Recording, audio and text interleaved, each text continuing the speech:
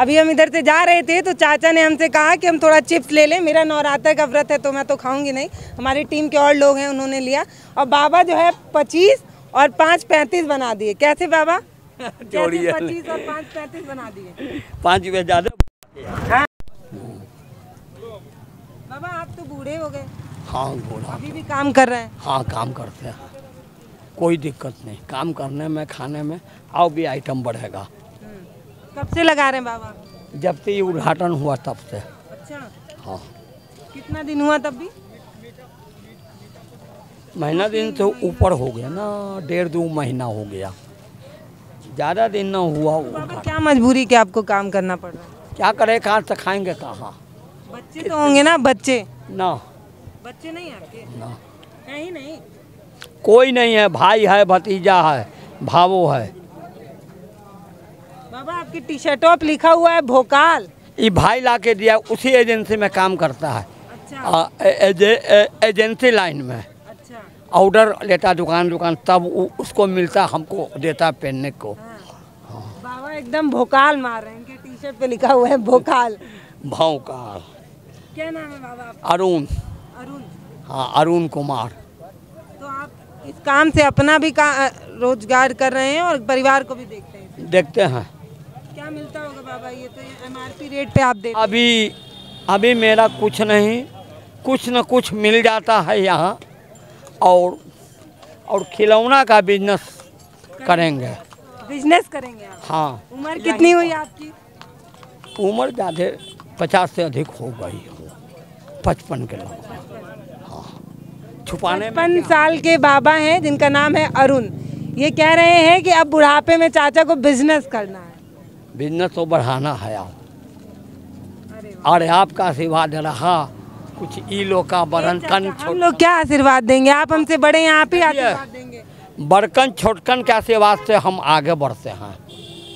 ऐसा नहीं कि नहीं गलत कह रहा। है आपको ये कुछ सस्ते में मिलता है बाबा कि एकदम दस ही रुपए में मिलता है नहीं कुछ कम में मिलता। मिलता है। कहाँ घर पड़ता है आपका? राम जी तक दीघा नहर। कितना दूर है बगल में है। एक डेढ़ किलोमीटर होगा। ये- आप अपने ऐसे कंधे पे टांग हाँ टांग के ले आते हैं खाली करके जाते हैं। रोज बिक जाता है? हाँ। नहीं बिकता तो आते किस लिए सर? रोज बेच लेते हैं। हाँ। तो बाबा वो ऊपर जो बैठे हैं वो आप पे दया दृष्टि बनाए हुए दया दृष्टि बनाए हुए हैं। कि भर के नहीं ले जाना पड़ता है, हाँ। खाली हो जाता है। बच्चे एक भी नहीं है चाचा। हमारा कोई नहीं है। मतलब है ही नहीं कि आपको पूछते नहीं है। है ये नहीं है। शादी नहीं की थी नहीं जवानी में अंग हो गया। तो उसके बाद शादी नहीं की? ना। तो कैसे चलेगा बाबा बुढ़ापा? क्या करे कैसू तो चल रहा है। बाबा एक बात बताइए। जैसे आप नीचे बैठते हैं ठेले वेले वाले तो ऊँचा रहते हैं तो लोग पैसा ऐसे थमाते हैं कि फेंक देते हैं नीचे? ना पैसा थमाते हैं। हैं। हाँ। फेंकते नहीं है कोई गाहा। लोग अच्छा बर्ताव करते हैं। अच्छा वार्तालाप करते हैं। कोई गलत दृष्टिकोण से नहीं। ये बड़ी छोटी सी कहानी है। लोग सोच रहे होंगे कि इसमें ऐसा क्या मैसेज है कि हम बैठ के चाचा से बात कर रहे हैं। हम ये बता रहे हैं कि उम्र वो पैमा कोई पैमाना नहीं होता कि आप थक कर बैठ जाएँ। इनकी उम्र पचपन साल है और अभी भी इनको बिज़नेस करने का जज्बा है। इनका हौसला है कि अभी कुछ करेंगे। आगे खिलौने का बिज़नेस करना चाह रहे हैं। दुर्गा पूजा के बाद। दुर्गा पूजा के बाद। कहाँ से ले आएँगे खिलौना? सिटी से। अच्छा फिर यहाँ लाके हाँ। कितने बजे तक रहते हैं बाबा यहाँ पे? दस। और फिर खाना वाना कहाँ मिलता है? घर पर। तो आप तो कह रहे हैं घर पे कोई है ही नहीं। भाई भाव वो है ना? वो देते हैं। हाँ। अब कुछ पूछना सर। क्या पूछे बाबा आप आप आ, आप निस्तब्ध हो जा हम आपसे बात करके निःशब्द हो जा रहे हैं कि मतलब अमूमन हम लोग के घर के जो बुज़ुर्ग लोग हैं वो खटिया छोड़ने को तैयार नहीं है। और बाबा जो है इस समय भी आपका हौसला है बाबा कि आप पैदल चल के आ रहे हैं यहाँ पे अपना बिज़नेस छोटा शुरू से है। स्टैंड से, से, से पहले हार्डिंग पार्क स्टैंड था हार्डिंग पार्क जाते थे स्टेशन से पैदल। फिर उसके बाद मीठापुर गया स्टेशन से पैदल। और जब से बैरिया के गया तब से नहीं। तो हाथ कैसे चला गया बाबा? मशीन में काम करते थे कारखाना में रामजी चक में चमड़ा फैक्ट्री में। तो वो कुछ हरजाना दिए वो लोग? हरजाना वो लोग दिया दो घर गोतिया आग लगा दिया। अच्छा। हाँ मत दो इसको पैसा। जिस कारखाने में आप काम करते थे उस कारखाने में काम करते करते आपका हाथ चला गया लेकिन कारखाने वाले कोई मदद नहीं कोई मदद नहीं। और घर भी जला दिए क्या घर तो है ये है। नहीं आप क्या बोल रहे थे? गोतिया?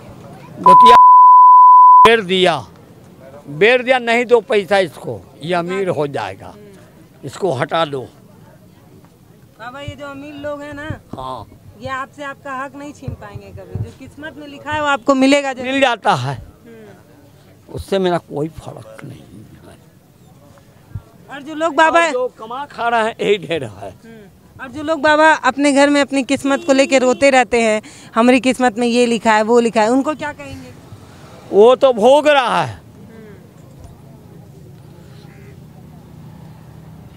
बाबा हमारी दुआ रहेगी भगवान से। अब मैं क्या बोलूँ? मैं यही बोलूँगी आपके रोज़गार में बढ़ोतरी हो। माँ दुर्गा आपके आशीर्वाद बनाए रहे एक चीज़ कीजिए कुछ मदद दिलाइए विकलांग हैं। अच्छा विकलांग पेंशन वगैरह भी नहीं मिलता है? मिलता है चार सौ रुपया उससे क्या हो जाएगा? बढ़ना चाहिए ना उससे क्या हो जाएगा?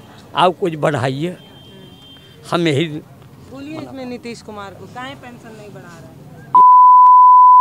पूछवा जाता। अरे बाबा गाली नहीं दीजिए। गाली नहीं तो सब रहा है। वही तो सब दे रहा है। सबको मार मारे हुए हैं। ये हाँ? पूरा कीजिएगा पेंशन में। सरकारें जो बुज़ुर्ग लोग हैं उनके लिए तय करती हैं चार सौ रुपये महीना। और जो ये हाईवेज वगैरह बना रहे हैं और इस पे जो टोल प्लाजा लगा रहे हैं उसमें तीस रुपए की चाय मिलती है। तो ये सोचिए अगर मान लीजिए बुज़ुर्ग हाईवे से जाएँगे तो कितने दिन की चाय पी पाएँगे उस चार सौ रुपये में? और चार सौ रुपये वो भत्ता है जिसमें इनको खाना है पहनना है रहना है। तो ये सोचने की बात तो हो सकती है कि चार सौ रुपये में एक महीने आदमी कैसे काटेगा? एक बुज़ुर्ग की कहानी आपको बता रहे थे इनके हौसले को तो भैया सलाम है। इतने बुज़ुर्ग हो गए लेकिन अभी भी कमाने और खाने का जोश है बाबा। हाँ। किसी के सहारे नहीं आप तो आत्मनिर्भर हैं असली वाले। हाँ निर्भर है। अपना मेंटेनेंस ये सब अपने करते हैं। साबुन से कपड़ा खींच लेना उठी करना डाई कपड़ा उपड़ा खुद ही धोते हैं। हाँ। रोज। नित्यम दिन।